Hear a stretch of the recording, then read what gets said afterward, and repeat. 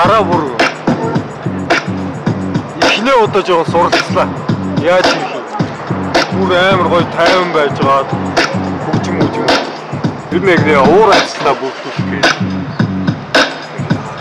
Хип-хоп гэдэг юм аа. Тэгээд Монгол гэдэг юм аа.